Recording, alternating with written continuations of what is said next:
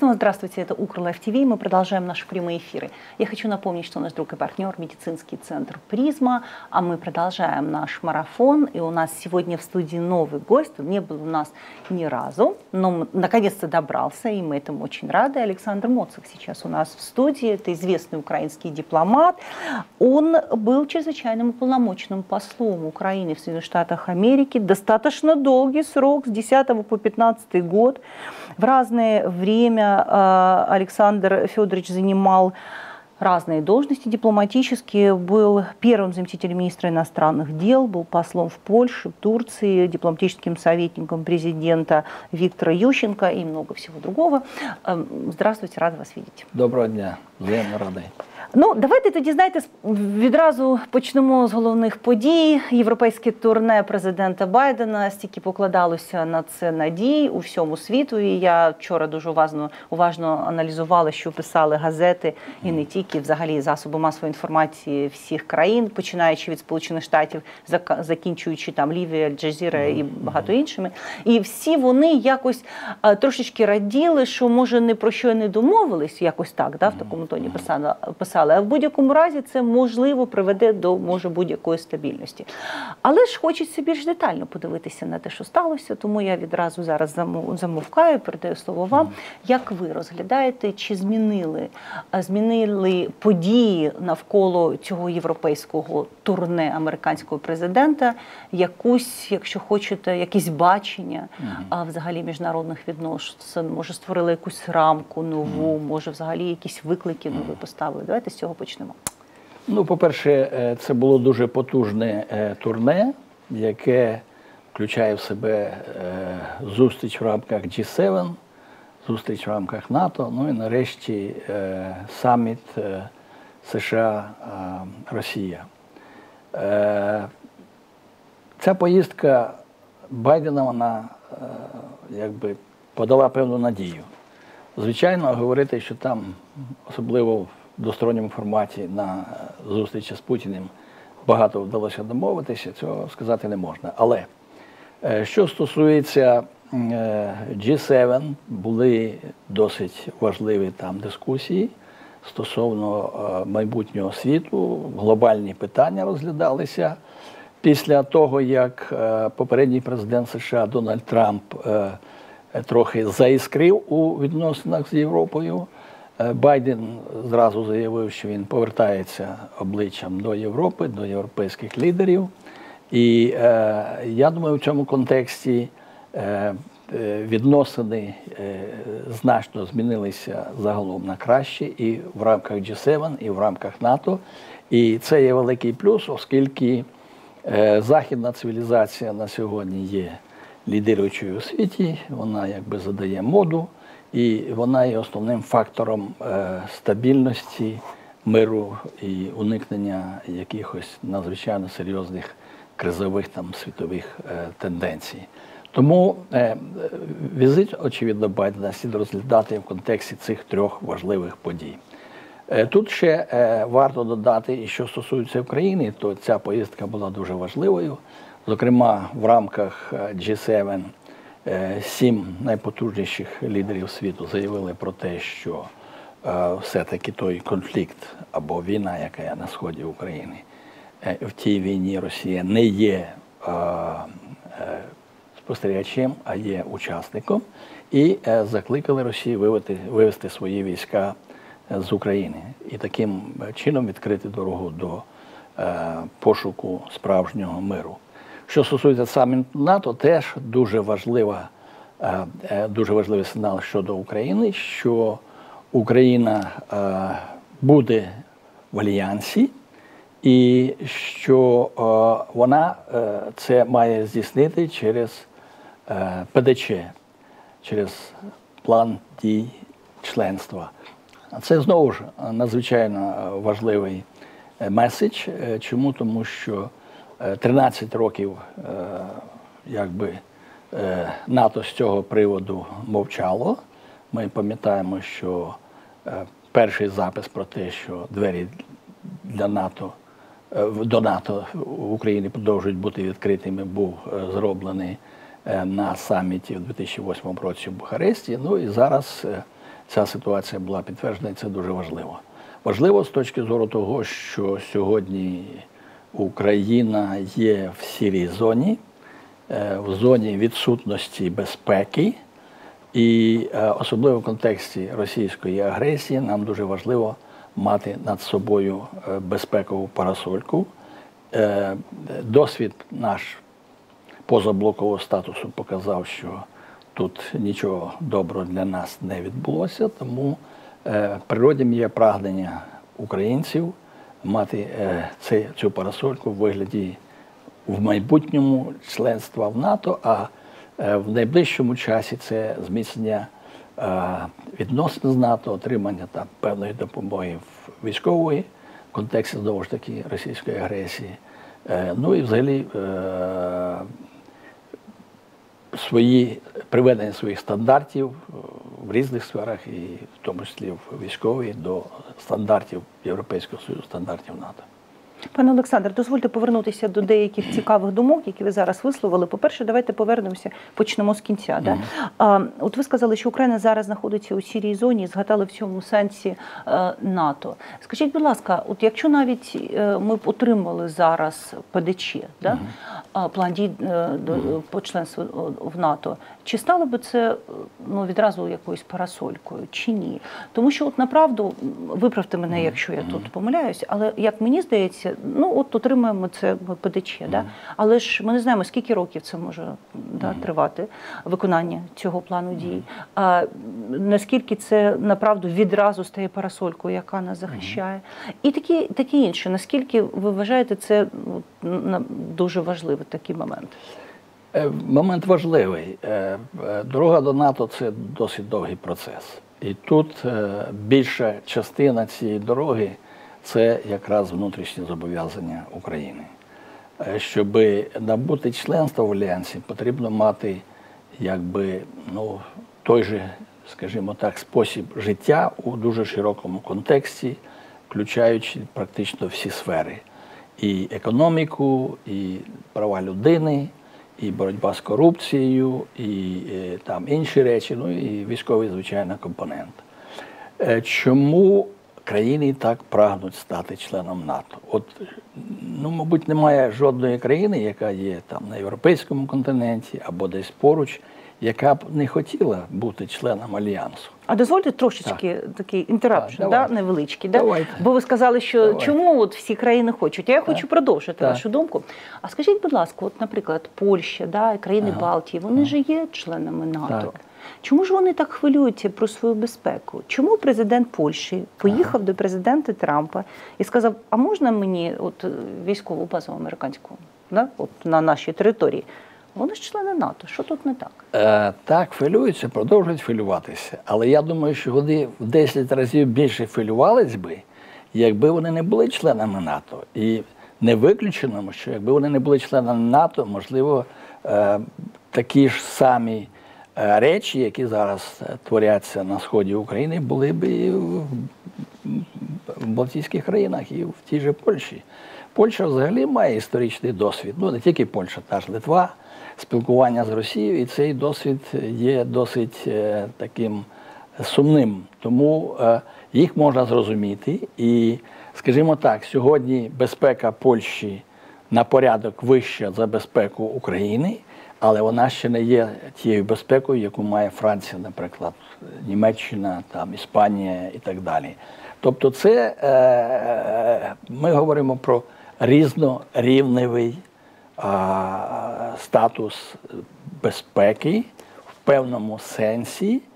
А, хоча юридично і такого статусу немає, але де-факто ми всі добре розуміємо, що е, Польща більше турбується про те, що може щось статися, ніж е, західні країни. І це, це ну, тому, що Польща близько знаходиться знову ж таки до Росії.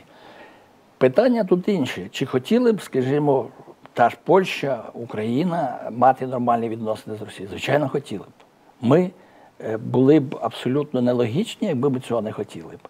Але в нас є своє бачення свого майбутнього. Нашої країни, нашого народу. І це бачення було висловлено ще в 2013 році досить чітко, коли країна підійшла до підписання угоди про асоціацію. Що сталося далі? Влітку втрутився президент Росії Путін, переламав всю ситуацію. Ну і, е, врешті-решт, народ України з цим не змирився, вийшов на Майдани, і е, якби Янукович покинув країну, і е, якби народ України сказав, що він не бажає, щоб хтось там зверху їм е, верховодив. Оце така ситуація вийшла. Тоді давайте трохи підемо далі. Е, от дивіться, ви були в Сполучених Штатах Америки, ви бачили ну, так, політику Обами там, в Вашингтоні, Так, да? так. тобто зсередини, трошечки зсередини. Трохи навіть брав участь у, ну, на двосторонньому рівні, звичайно. Да, от. Україна, США. Так. От скажіть мені, будь ласка, от те, що зараз та політика, яку от про- проводить зараз Байден, його адміністрація, це продовження політики в якому сенсі е, Обами, чи все ж таки це інша політика? Бо це була така інтрига, чи буде Байден проводити ту саму політику, або це буде якась інша? Ну, Байден новий президент Сполучених Штатів, звичайно, що він буде проводити свою політику. Але і він вже проводить її. Але е, сказати, що ця політика зовсім не буде мати якихось елементів е, політики е, тої адміністрації, де він був віце-президентом, теж не можна. Вона буде е, вона проходить в рамках демократичної концепції, е, демократичного бачення, е, верніше бачення демократичної партії на ситуацію в самій Америці і на ситуацію в світ, і на ситуацію з Україною. Тому я би так сказав, що частково це елементи тієї ж політики Обами, а частково будуть якісь є якісь вже інші елементи. Але пройшло тільки менше ніж півроку, тому треба ще почекати, щоб зрозуміти, е, наскільки політика президента Байдена буде відрізнятися або мати схожість з політикою е, поперед е, президента Обами. Давайте трохи повернемося до європейського турне, тому що е, одна з однією з цілей цього турне було створення такої такого єдиного заходу знову, да, про яке багато говорилося. Як ви вважаєте, це вдалося? А, тому що, ну, якщо так подивитися, так може навіть не прискіпливо, стає зрозумілим, що Північний потік 2 був таким собі. Ну, якщо хочете, невеличкою, а може величкою, великою розмінною такою монетою в цьому намаганні створити єдиний захід. Тут що вдалося в цьому сенсі, і, і як будуть роз- розгортатися події з вашої точки зору далі? Я думаю, що багато вдалося стосовно а, е, створення цієї єдності, того, що а, попередня адміністрація а, Трампа, ну о, так склалося, що мало додавала до єдності е, в самій Європі і е, особливо трансатлантичної єдності. Ну, президент Трамп мав своє бачення. Його дуже хвилювали питання торгівлі. Питання торгівлі завжди вони чутливі, і від торгівлі там переходили до е, питань безпеки. Знову ці 2% внеску в бюджет НАТО. Хоча 2% бюджету е, внеску бюджет НАТО це гарна ідея, тому що е, Америка ну, в кілька разів більше е, бюджет має військовий, ніж європейські країни. Була свого часу домовленість, щоб кожна країна досягла е, е, рівня 2%. Я думаю, що це правильна ідея, але вона е, трошки дратувала європейців, які вважали, що в них насідають, і тому якби питання єдності е, трошки було під загрозою. Зараз е, я вважаю, що е, президент Байден досяг дуже багато, і я думаю, що колективний захід стає сильнішим. Що касається, що стосується Північного потоку 2 Ну, е, тут ми можемо сказати, беручи чисто українські інтереси, не тільки, а як ми бачимо, європейські інтереси, навіть американські, я про це давав теж інтерв'ю. е, Ми вважаємо, що е, дозволити побудувати і запустити Nord Stream 2 було великою помилкою. По-перше, це була велика дуже загроза для України. Загроза з точки зору економіки, ми втратили б певну кількість е, там, мільярдів доларів до нашого бюджету. Але головне, ми стали більше е, такими, ну, е, більша загроза була б для нашої безпеки, того що практично всі експерти відзначають, що оця газова труба, по якій йде газ з Росії в Європу, тобто українська газотранспортна система, вона все-таки є стабілізуючим фактором і фактором, який додає безпеки, е, без, бе- бе- бе- певної безпеки е, Україні. Тому що, як вважають експерти, я думаю, що це правильна думка, що е, вона є додатковим фактором стримування можливого розширення російської агресії, оскільки це завадило б транспортуванню газу із Росії в Європу, і таким чином Європа більш сильно реагувала б на таку можливу ситуацію. Вибачте, ви сказали, була б, було б, загрожувало б Да. у майбутньому, Так. але це вже сталося. Я думаю, що ще ні. Ще Давайте ні. про це трошечки да, да, дивіться, детальніше, дивіться, от чому да, ні? да, да. По-перше, е, ну от е, тут слова, мабуть, е, треба американські таку приказку навести. Never give up. Ніколи не здавайся. І Ага. Це стосується і нас. Ми не маємо здаватися. Я не думаю, що ми маємо там переходити в сварку із Сполученими Штатами, але ми маємо продовжувати аргументувати е, те, що е, добудова і запуск в роботу Nord Stream 2 це дуже погана ідея. І, в принципі, в Америці це розуміють всі, в тому числі адміністрація, в тому числі особисто президент Байден. Ви правильно сказали, що тут є певний зв'язок із питанням е, відбудови єдності, трансатлантичної єдності між Америкою і, і Європою. Але по сьогодні е, американська адміністрація говорить про те, що, що вони не, не в захваті від, від е, цієї, цього проєкту. І тим більше ще не сказав своє слово Конгрес. Конгрес може сказати. Я коли здавав інтерв'ю, то я казав, можливо, це тільки тактична позиція Сполучених Штатів, е, а стратегічно залишається такою ж, як вона була весь час. Тобто ця труба це погана ідея. От.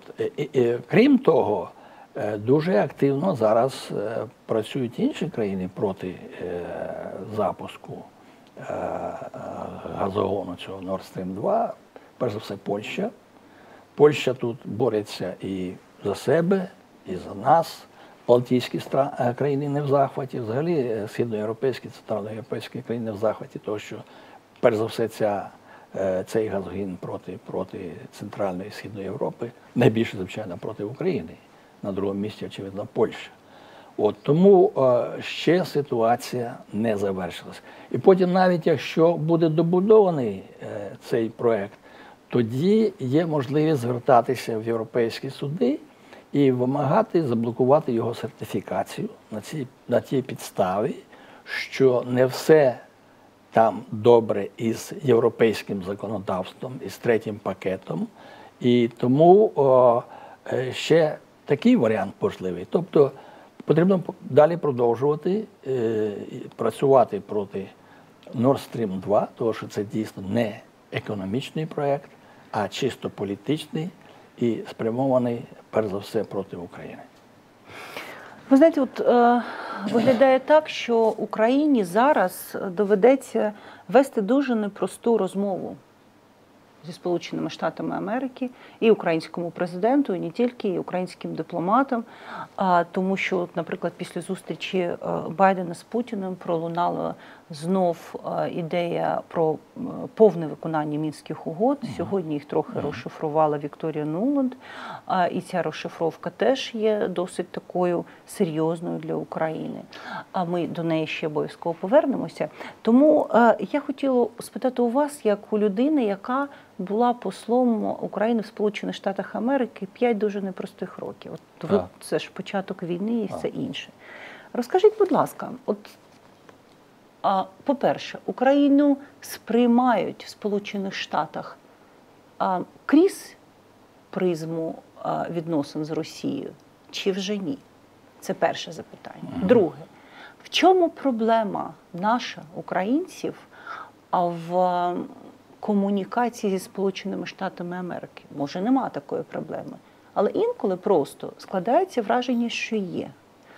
А тепер є така позиція а, почути Путіна. Так? Ми, ми дуже Ферштейн Путін, да? ми дуже швидко е, е, часто про це чуємо.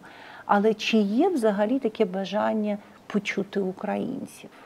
От а, просто я так розумію, що зараз ми будемо готуватися до дуже повторюся непростих розмов з Сполученими Штатами Америки. І в цьому сенсі, от ваш такий погляд, досвід, він надзвичайно цікавий. От що тут треба зробити? Ну, по-перше, дійсно, а як сказав е, міністр закордонних справ, один наш, той, який керував тоді міністерством, що у мене випала місія найважча за всі роки незалежності України, як посла в іноземній державі. Ну і це було так. Про це ж говорили і е, лідери української громади. Дуже складно було.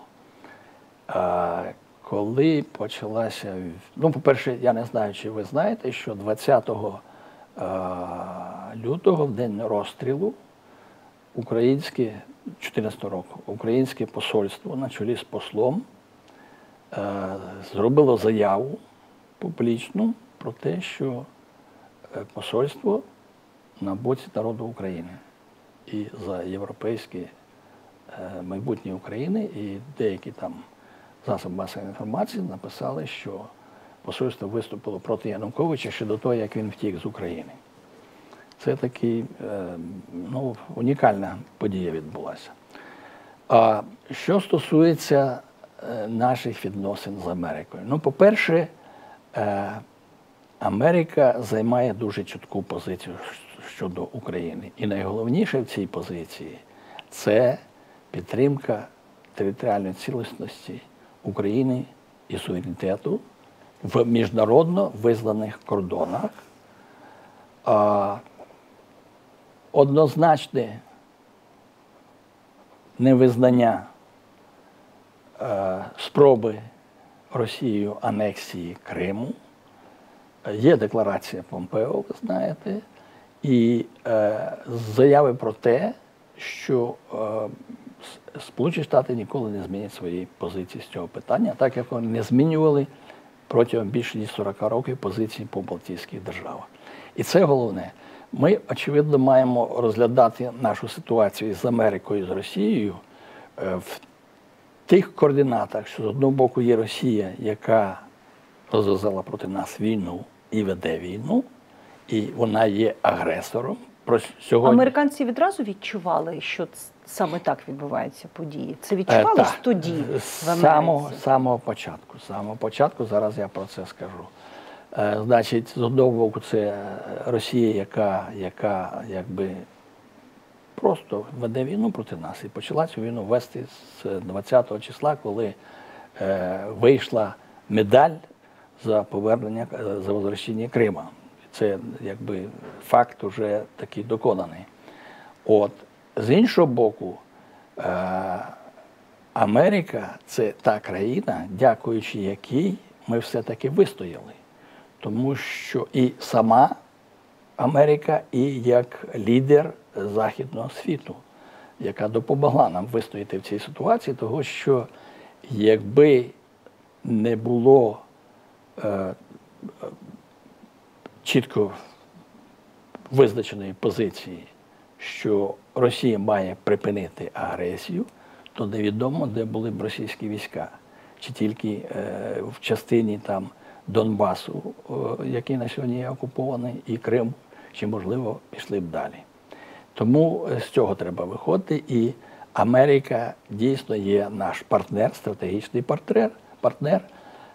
І е, дякуючи Америці, може би ми не зовсім сьогодні там маємо яку, якусь стабільну і, і, і там е, і політичну, і економічну ситуацію, але дякуючи Америці, Америці ми вижили. І ми, і ми, і ми виживемо, і все буде добре. А можна невеличке уточнення? От ви зараз е, можете вже відверто, ви ж зараз вже не в Вашингтоні. так. Ви вже можете, можливо, відверто сказати, що вас не влаштовувало от тоді, в той самий момент. От, наприклад, вам би здавалося, ну що вони там щось не доробляють, вони могли би бути жорсткі- жорсткішими або дати зброю, або я не знаю що. От у Ну. вас було таке відчуття, що все ж таки треба щось цим американцям ну якось пришвидшити взагалі свої Ну, звичайно, відчуття було таке, що е, потрібно швидше реагувати. На що мені е, наші колеги, от ви сьогодні згадували Вікторію Нуланд і там інші американські колеги, з якими я працював, казали, що є певні процедури, які ми маємо пройти, і е, прийняття е, в рішення в Америці це так, як е, управління авіаносцем. Авіаносець довго розвертається, але якщо він вже взяв курс якийсь, то хавайтеся, то буде пізно. От приблизно, приблизно е, так виглядала ситуація. Звичайно, що е, починаючи з перших днів березня, е, я практично, що називається, не виходив із Державного департаменту, Пентагону і Ради національної безпеки. Прохання були великого спектру, це поставка зброї різної, це політичне е, зупинення агресії, е, це економічна підтримка на двосторонньому рівні і через Міжнародний валютний фонд, тобто цілий комплекс питань. Ну і треба сказати, ще раз хочу підкреслити, що завдяки е, багато в чому зусиллям Америки ну, вдалося і зупинити агресора, і, і вистояти нам в цій ситуації.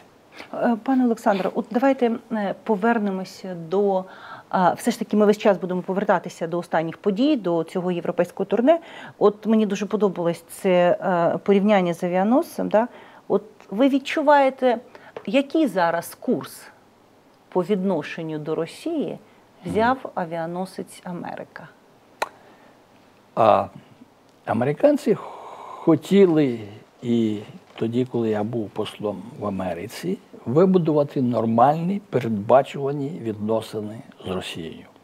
Тобто тут постійно одна й та сама лінія, да? Так, вибудуть нормальні відносини. І один із е, ініціаторів перезавантаження ресету, е, посол Макфол, він дійсно щиро, щиро вірив, що е, це можна зробити.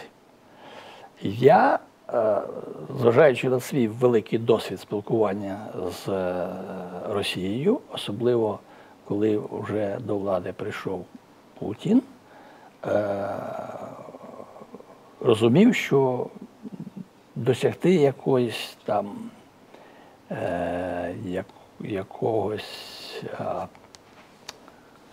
якоїсь згоди чи досягти якогось такого, якоїсь ситуації, коли е, можна буде вирішувати конструктивно всі питання, там, всі питання двосторонні і глобальні, ну, в Америці з Росією не вийде. А, і так воно і вийшло. Я в той час сказав їм, що я маю великий сумнів, що ви зможете домовитися з Росією, що все у вас буде добре. Ви і зараз маєте такий сумнів? І я і зараз маю такий сумнів. Тому що е, у президента Путіна е, є е, віртуальна реальність, тобто, е, яка е, заважає вибудовувати нормальні відносини з тими ж Сполученими Штатами Америки і з Заходом. І вона полягає, зокрема, і в тому в двох речах. Перша річ, що е, міжнародне право сприймається Російською Федерацією сьогодні, Путінською Росією, як ресторанне меню.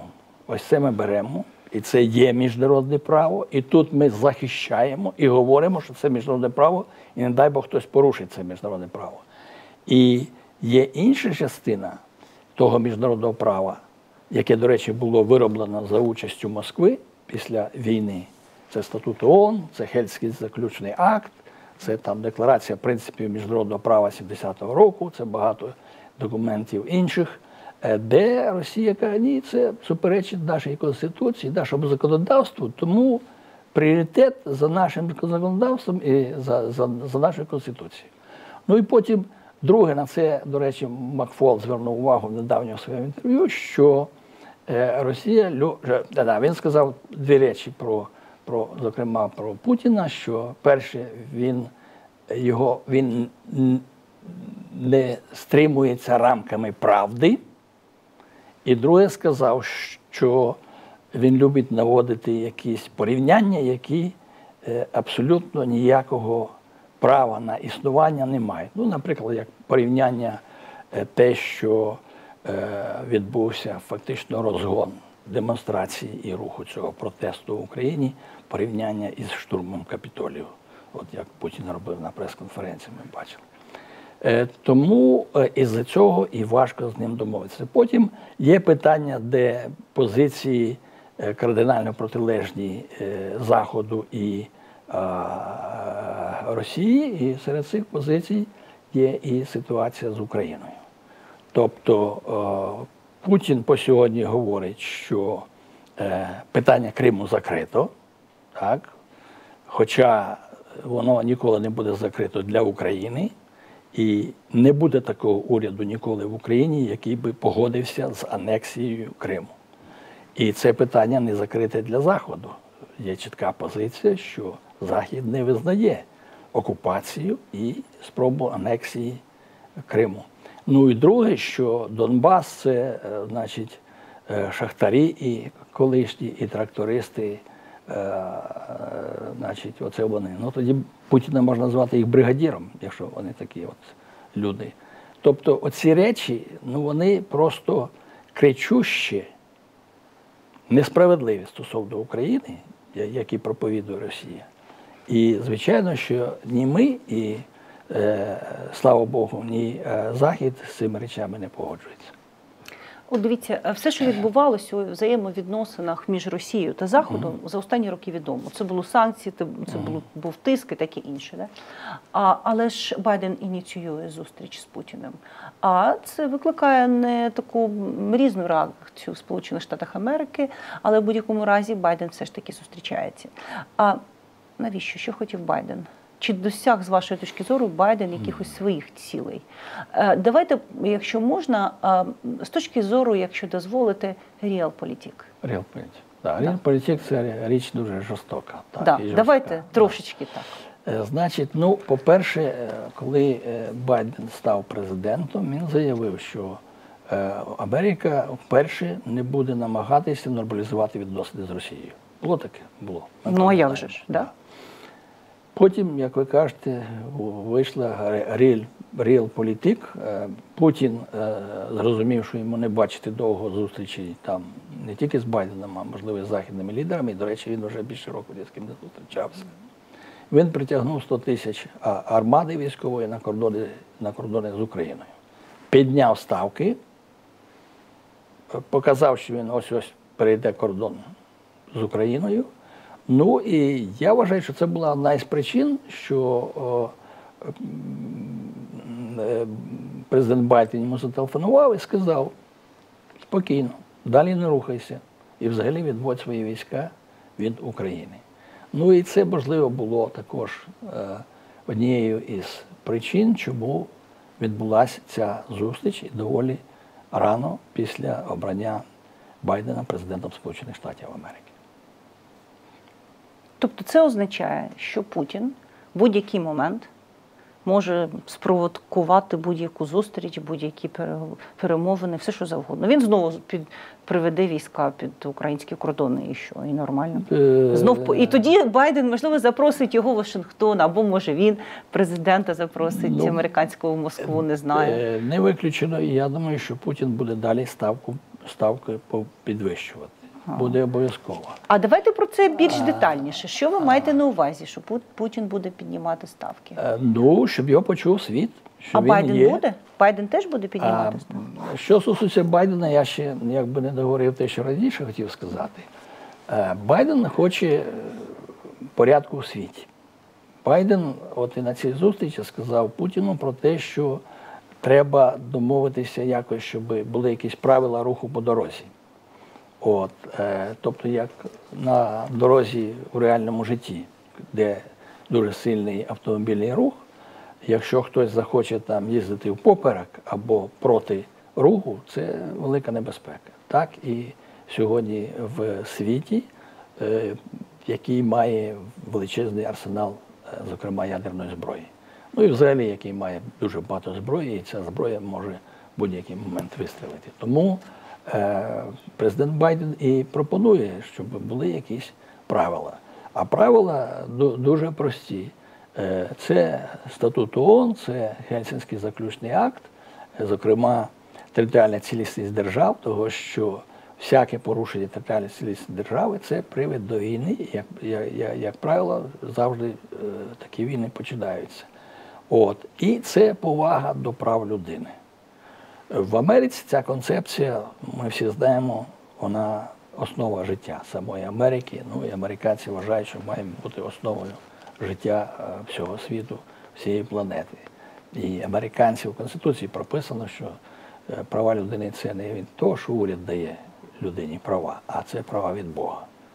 От кожен, хто народжується, вже має відповідні права, які, на які ніхто не може посягати. Тому звідси і питання е, е, захисту прав людини в Росії, звідси і позиція Америки по е, Навальному, по лідеру опозиції. Ну, мало того, що намагалися отравити, е, значить він повертається, його арештовують, потім розганяють повністю цей е, е, опозиційний рух. І зараз е, приймає таке жорстке законодавство, яке веде ну, до абсолютної автократії. Це не є прийнятним е, в сучасному світі, тим більше, що Росія е, публічно і в своїх там е, правових актах всюди розписує, що Росія є демократичною державою, якщо подивитися навіть Конституцію Росії. От, і порушення прав людини це теж завжди якийсь елемент, який може призвести до якихось великих конфліктів. Як ви вважаєте, чи досягнув Байден своїх цілей після цієї зустрічі? І як, з вашої точки зору, можуть розгортатися події, якщо б Путін от е, там пролунало, що декілька місяців будуть такими визначальними да, у цих відносинах між Сполученими Штатами Росії і а, від, від Сполучених Штатів Америки і Росії. Да? Е, Декілька місяців постійно лунало так чи інакше лунало в цей час. Але е, от як ви вважаєте, які тут можливі сценарії? От Путін може там якось піде на якісь поступки і можлива якась співпраця, да? чи навпаки неможливо в принципі. Я пам'ятаю, що ви на початку ще говорили, що Путін і Байден ніколи не домовляться. Тому що там Росія не може ніколи домовитися з Сполученими Штатами Америки. Я це пам'ятаю. Ви казали про це на початку, але в будь-якому разі, чи ви вбачаєте тут якісь різні сценарії? Ну, дивіться, е, Путін вже спілкується з п'ятим президентом.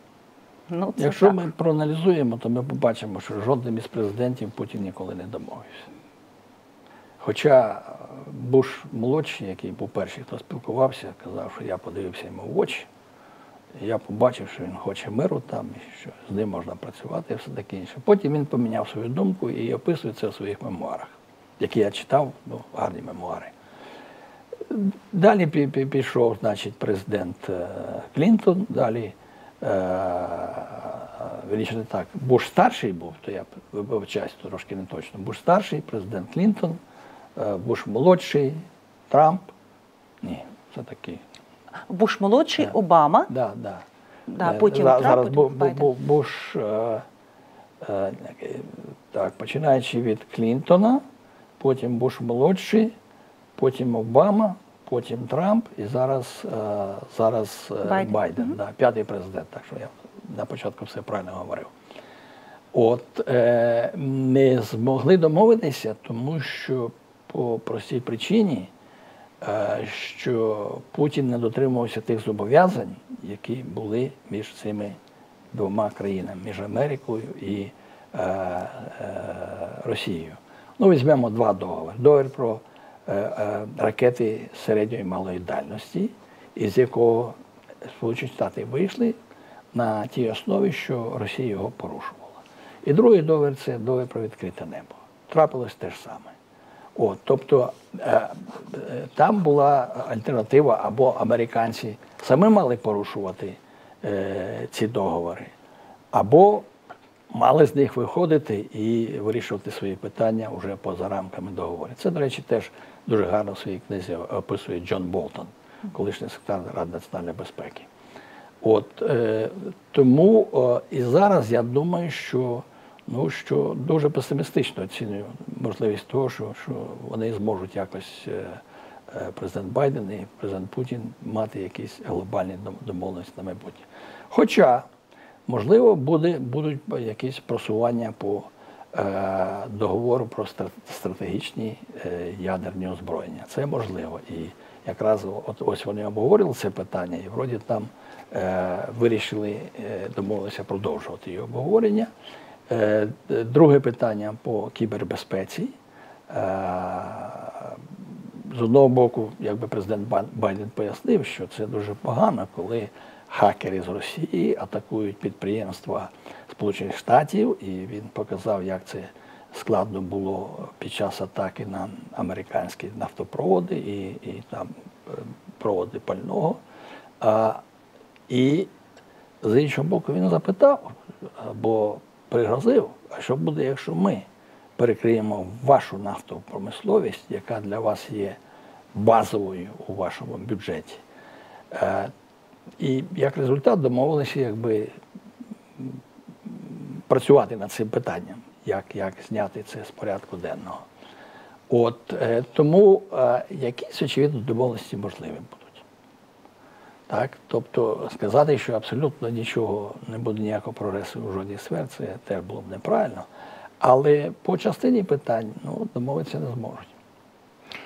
Ви сказали, що Путін буде піднімати ставки. Так. Якою в, в, такому, в такій ситуації може бути, якою може бути відповідь Сполучених Штатів Америки в, в такому випадку?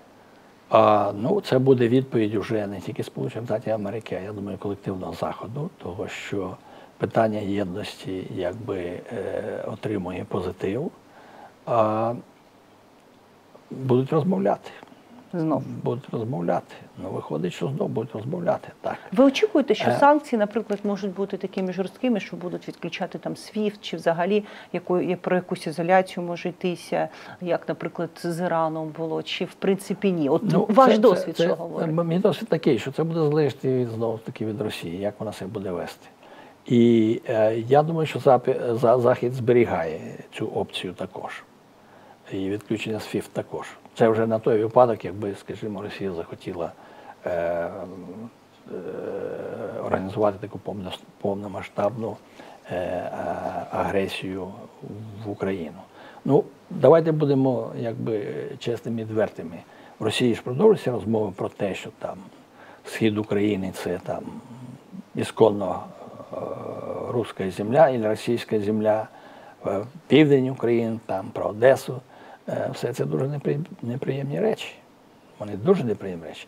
Як є абсолютно неприйнятними, були неприйнятними і неприємними ті розмови, які вів е, Путін із Бушем молодшим у 2008 році в е, Після Бухаресті. Грузії, да? Бу- да, після Грузії, в Бухаресті, про те, що Україна це, значить, state, е, що там складена із шматків. Ну, вибачте, Україна в кінці кінців це Київ. Почнемо з Києва. Що Україна починається з Києва. Так. Київ це Київська Русь. Ми тут живемо, і наші предки живуть ну, 15 чи 17 століть. Ми нікуди не виїжджали, ми в космос не вилітали. Значить, це наша земля. І значить, говорити про те, що от там є питання, чи то Україна, чи не Україна, і чи то земля їхня, чи, чи, чи не їхня, це повний абсурд. І це загроза Україні. Я так, до речі, завжди пояснював і ще до війни російським колегам, що ну, давайте будемо логічно мислити. Ми говоримо, якщо про Україну, то це країна із столицею в Києві. Київ це Київська Русь. Зараз в Росії ніхто не говорить про Київську Русь. Зараз просто говорять Русь. Ну, Так. зрозуміло. Так воно є. Тобто і зараз там роблять розкопки десь в Новгороді, щоб показати, там в інших місцях, щоб показати, що поміняти концепцію. Ця концепція е, акуратно, е, якби є спроби акуратно поміняти. Хоча е, стовп такий дослідження Київської Росії, як е, академік Борис Рибаков, до речі, герой соціалістичної праці Росії, він у своїх трудах описав, що все почалося з Києва. Трикутник, Київ, Переяслав, Чернігів. Оце е, точка, звідки почалася ця велика держава Київська Русь, яка сьогодні є там. Е, е, е, ну, на тій території є така держава, як Україна. Я думаю, надо было два часа планировать на интервью.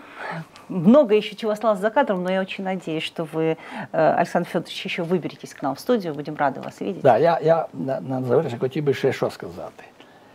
Ще раз, чи хотіла б Україна мати нормальні відносини з Росією? Так, хотіла б. Тому що це наш сусід, у нас дійсно багато спільної історії, е, багато спільного в інших сферах там. На рівні людей ми дуже пов'язані. Тобто, мабуть, важко знайти сім'ю, яка б там е, не мала якихось зв'язків із Росією. Але у нас ми хочемо жити так, як ми хочемо. І Україна терпеливо чекала, поки там більшість е, в, е, в країні скаже, так, ми хочемо, е, беремо інтеграцію в Європейський Союз як основа нашого майбутнього. Хоче Росія розвивати євроазійство, будь ласка, але ми хочемо своє, ви хочете своє. Ми бачимо світ так, ви бачите так. Давайте дозволимо кожному із нас жити так, як ми хочемо. І тоді в нас буде мир і абсолютний порядок. Але Крим, ще раз, це Україна. Донбас окупований це Україна. І з цих земель прийдеться обов'язково піти, вибачитись за війну, е, компенсувати всі збитки, і тоді ми зможемо відновити ті відносини, які ми мали раніше. Александр Моцк был сегодня у нас в гостях, за что мы вам, Александр, очень признательны. Спасибо огромное, были рады вас Дякую видеть. вам. И, конечно, мы признательны вам, наши спонсоры на платформе Patreon, нашему другу и партнеру медицинскому центру «Призма». Оставайтесь с нами, и мы сейчас продолжаем наши прямые эфиры. Звоним в Москву.